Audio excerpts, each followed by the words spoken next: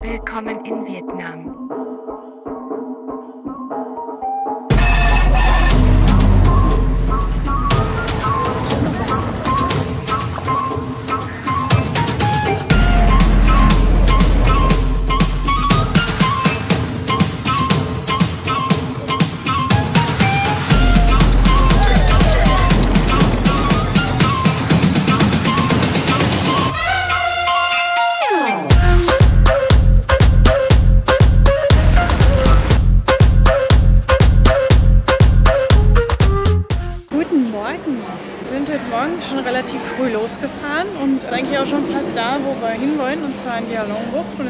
Kleinen Stop an so einer Muschelperlenfabrik oder sowas, ja.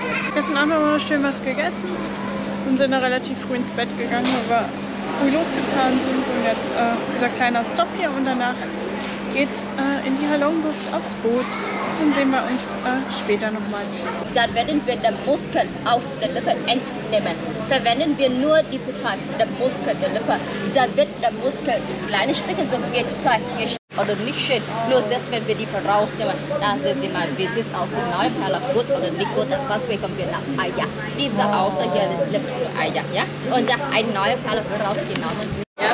Und Kette, Fassung, Anhänger, Ring, Ringe, wir haben in Silber, Gold, Weißgold einfach mit Wir haben uns jetzt hier angeguckt, wie die Perle in die Auster kommt. Ich habe es noch nicht ganz aber es sah schon ein bisschen brutal aus, auch teilweise, wie sie diese aufmachen und das da reinquetschen. Und naja, jetzt kann man hier noch theoretisch ein bisschen was kaufen, aber machen wir nicht.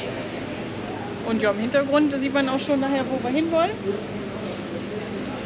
Ich habe ja vorhin schon mal kurz gesagt, hallo, ich bin heute noch ein bisschen müde. Ich hoffe nachher, dass wir schönes Wetter haben. Dann gibt es hoffentlich auch wieder bald was zu essen. Aber kann ja nicht mehr lange dauern, bis wir da sind. Das ist heute Tag 4.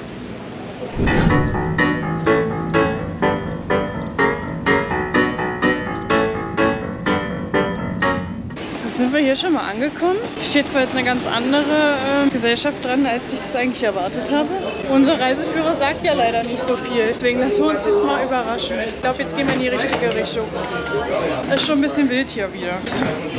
Ja, ich glaube, jetzt sind wir richtig.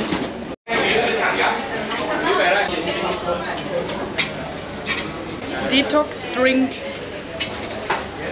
Ich denke, jetzt, dass wir mit so einem Floß dann zu dem richtigen Boot fahren werden. Ob das klappt hier alles mit den Koffern und so. ja, jetzt trinken wir erstmal hier so ein Detox-Ding. Mit Gurke. Wetter sieht gut aus. Ich hoffe, es bleibt so. Nicht, dass alles so doll wackelt auf dem Boot. Kann ich mal nicht so ab. Aber ich freue mich jetzt schon auf das Boot. Und dann gibt es kurz auf Summer und dann habe ich schon rausgehört, dass es dann Mittagessen gibt. Jetzt geht's aufs Boot, also aufs Zubringerboot. Und dann geht's Richtung großes Boot. Vom Boot zum Boot. Vom Boot zum Boot quasi. Mit dem Boot zum Boot. Mal sehen. Da gehe ich trotzdem mit unter, könnt ihr glauben. Xin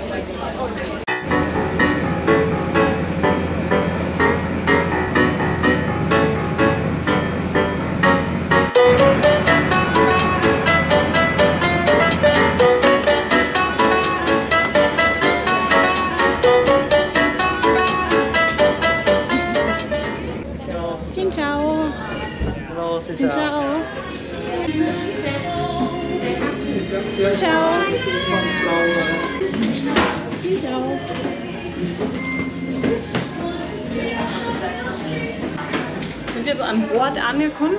Jetzt müssen wir erstmal irgendwo hin. Ich glaube, einfach der Masse nach. Ich denke, man gibt so eine kleine Einweisung.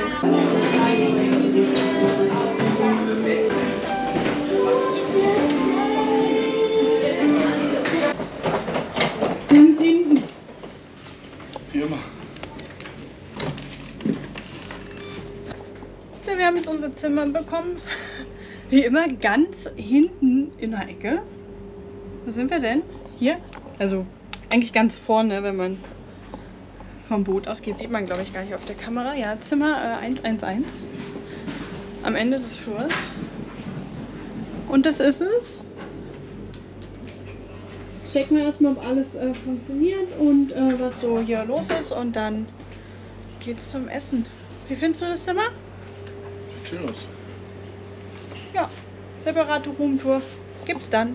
So, wir sind mal direkt auf der Halongbucht mit dem Kajak Unser Boot. Hier vorne ist unser Zimmer. Und es regnet dezent Und es gewittert. und es gewittert.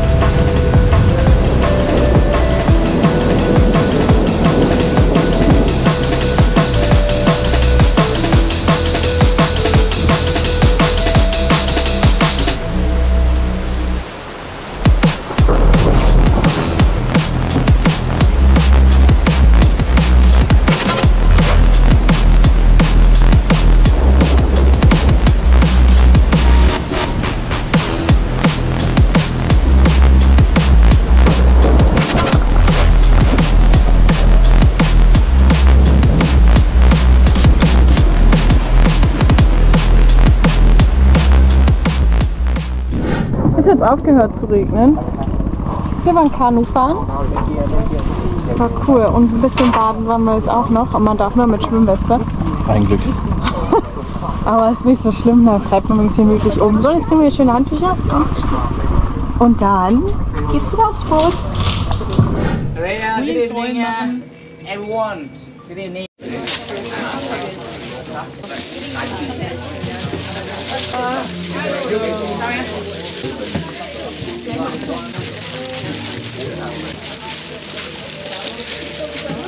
Oh, like this? Okay. Okay. Findest du schön? Habe ich gut gemacht?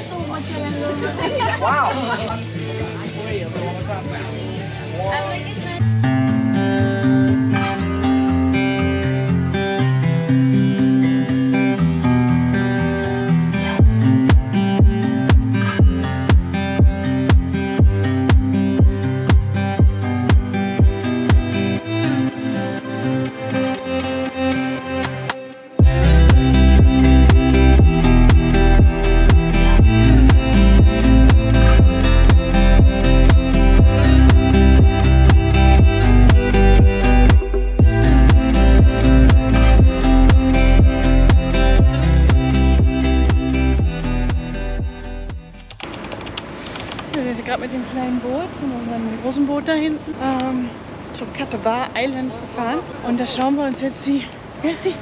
Trunk-Drang-Höhle? Die Höhle. Eine Höhle, ich habe es vergessen. Ähm, hat man noch so schlecht verstanden, aber ich glaube, so ungefähr heißt. Die schauen wir uns jetzt an. Ungefähr anderthalb Stunden. Und dann geht es zurück aufs Boot und dann gibt es schon wieder Essen. Wir haben zwar gerade gefrühstückt. Ja, und dann war es das leider für heute, weil wir dann nachher noch von hier, also von Hanoi nach Ruhe fliegen und dann heute Abend nur noch in unser Hotel einchecken. Aber trotzdem langer Tag. Hauptsache wir finden heute Abend noch was zu essen. Das Wichtigste.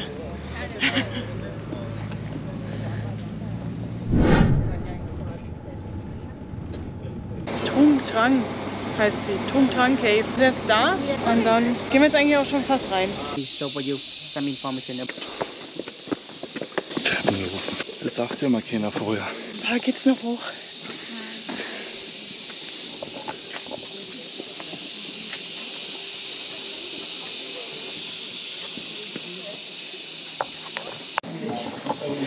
Noch nicht mal drei Minuten hier. Und wir sind schon klatschnass. Boah, schwitzig, ey. Und dann kann man nicht noch mal duschen auf dem Boot. Das ist das Schlimmste. Fahren wir so schön schwitzig zum Flughafen. Aber hier ist der erste Mülleimer, den ich in Vietnam sehe. Da ist er. In der Stadt habe ich ihn gesehen.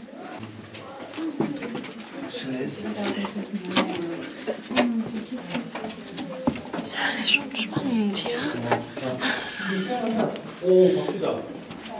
Soll echt aufpassen. Hat schon Vorteil, wenn man klein ist. Und die Fledermäuse, die fliegen hier. Cool.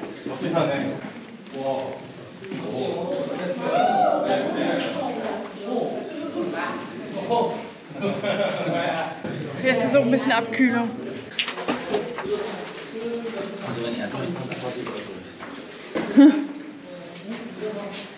Diese Fledermaus war da gerade.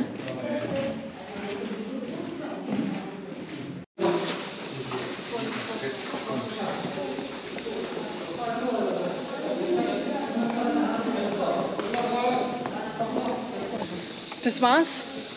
Wir sind raus. Jetzt geht's hier wieder runter durch den Dschungel. Noch tausend Mückenstiche vielleicht mal abholen. Und dann geht's auch schon wieder zurück aufs Boot und dann müssen wir packen. Und dann gibt's Essen und dann geht's weiter. Hier geht's richtig zack, zack, zack. Aber hier ist schon cool jetzt.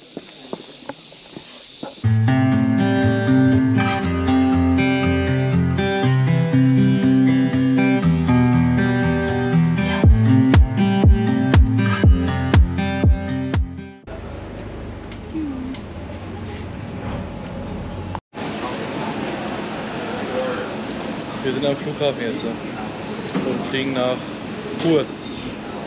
Und jetzt fressen wir erstmal was. Für vernünftige Preise. Eine Cola ein Euro und nicht 8 wie in Deutschland. Finde ich gut die Preise. Ja, wir haben halt Hunger, ne? Darum haben wir uns jetzt Banh Mi noch bestellt. Ich wollte eigentlich Frühlingsrollen, aber die gibt es gerade nicht. Und dann habe ich mich für ein Banh Mi entschieden. Und in einer Stunde ist dann Boarding. Und der Flug dauert auch nur eine Stunde zehn. Und dann sind wir heute Abend in unserem neuen Hotel. Und mehr haben wir eigentlich heute auch nicht gemacht. Ich denke mal, wir suchen uns heute Abend noch was zu essen und dann war es das wahrscheinlich. Ja, wir gucken uns natürlich die Stadt an. Wir rennen noch 20.000 Schritte höchstwahrscheinlich. Wir gucken mal. Ja. Und dann melde ich mich gleich nochmal zurück, wenn das Essen da ist. Hol mal raus das Ding. Heiß wie Sau, Alter. Ach so. Sieht erstmal ganz geil aus. Und? Schmeckt? Sehr schön. Dann guten Appetit. Ich muss halt neu ins Fressen, damit ich groß und stark werde. Ist lecker gewesen, das mit Ei. Ja. Guten Appetit. Hallo direkt aus unserem neuen Zimmer.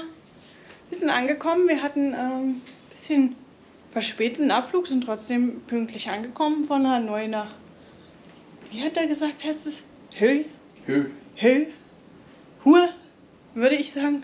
Aber es heißt Höh. Ähm, ja, ein bisschen mehr als eine Stunde sind wir geflogen. Also wir sind quasi gestartet und gelandet. Mehr war es nicht. Ja, das ist unser neues Zimmer. Einfach mal ein kurzer Rundblick hier. Äh, mehr zeige ich nicht, weil das könnt ihr euch ja dann in einer separaten Roomtour angucken. Oh, kurz ins Badezimmer einmal gedreht und das war's auch schon.